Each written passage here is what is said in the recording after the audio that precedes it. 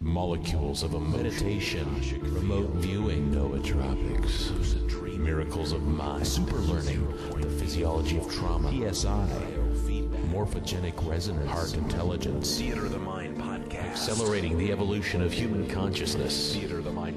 Podcast brought to you by BrainSync.com. CDs and MP3 downloads for peak performance at BrainSync.com. Expand your knowledge of the body mind connection and learn how to tap the other 90% of your unused potential. Welcome once again to Theater the Mind. Your host, Kelly Howell. And your host has a cold. But I'm here, and we're doing this show because it is fascinating.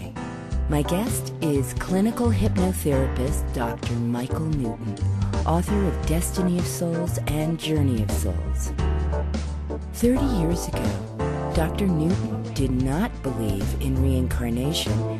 However, he stumbled onto a discovery of enormous proportions that it is possible to see into the spirit world through the mind's eye of subjects who are in a hypnotized or superconscious state, and that clients in this altered state were able to tell him what their soul was doing between lives on Earth. Dr. Newton has compiled thousands of case studies which describe in intricate detail what goes on in the afterlife.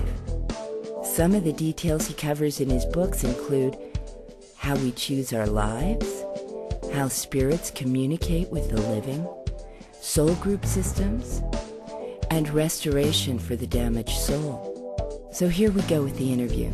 Enjoy. Well, hello, Dr. Newton. It's a pleasure to have you on the show. Welcome. Well, thank, thank you for having me, Kelly. You've been a counseling psychologist, master hypnotherapist, and teacher for 40 years. Is that right? Yes, uh huh. I've uh, I've been probably uh, doing those things a little over that because I began in 1956, and um, I retired in 2002. But I formed an association uh, the year before, and since my retirement, I've been working very hard with the Newton Institute to train other professional hypnotherapists in the kind of uh, techniques that brought me the information about the afterlife that I was able to obtain. So it was a long, slow process, Kelly. I began as a very traditional psychotherapist and using hypnosis in a very traditional way, working with people with, say, for example, chi- uh, childhood trauma. But then as time went on, um, more and more people were interested in past life regression, and I really shied away from it, even though the year I began was the famous year of the Bridey Murphy case. So in time, uh, and I explained how I came to the party kind of kicking and screaming, um, I became a metaphysical person because I had people who uh, I regressed into a past life, and it was almost the first one was almost by accident, and then some more time went by, and then I made my great discovery that it was possible to take people in the right stage of hypnosis, very, very deep into their life between lives, and that's really what changed my life, uh, because as time went on, I became so obsessed with learning about who we are, where we come from, uh, why we're here, and where we're going, that I really just closed my practice to any other kinds of therapy except life between lives therapy. And I worked on that for many decades. And I didn't, uh, in the beginning, I didn't tell a lot of my colleagues what I was doing. And I just gathered information. And I think what really hooked me, Kelly, was the fact that all these clients I was seeing all had the same things to say once I got them deep into the uh, uh, state of consciousness they needed to be in order to really see their inner soul mind. So I guess you could say that it didn't matter whether they were atheists or strongly religious or any philosophical persuasion in between. Once I had them in, in the right uh, hypnosis state, they all told me pretty much the same thing about what their life between lives was like. Really, even if people didn't believe in reincarnation. That's right.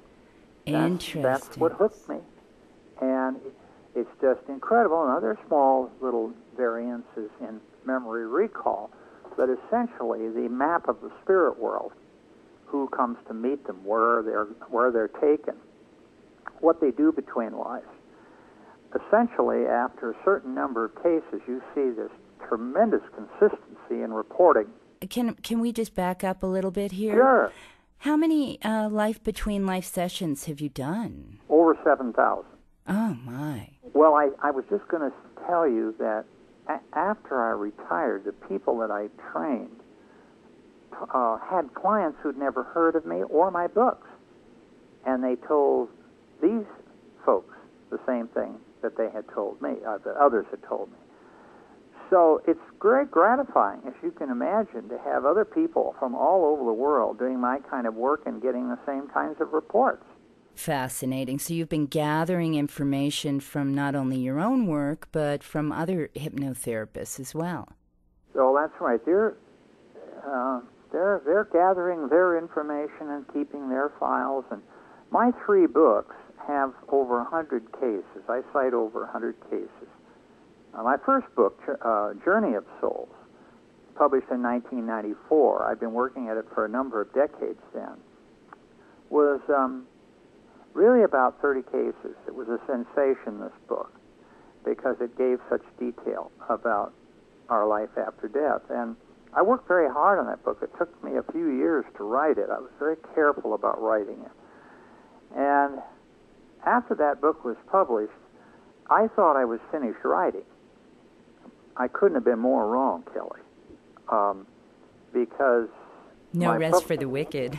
Oh gosh, I mean, you know, I opened the door, and uh, I have no one but myself to blame for a life that changed a lot after that. I uh, I was fortunate that I was with a publisher who is a very large metaphysical publisher, and they uh, really distributed the book well. And so the next thing, for the next ten years, I was working with clients, yes, but I was also out on the road giving a lot of lectures, doing radio and talk shows, TV shows, and so forth. So I worked very hard in those years, even though I was in my 60s. And by uh, people would tell me on the road, they'd say, "Well, this is fascinating, but we know that you know more, and we want to know what it is."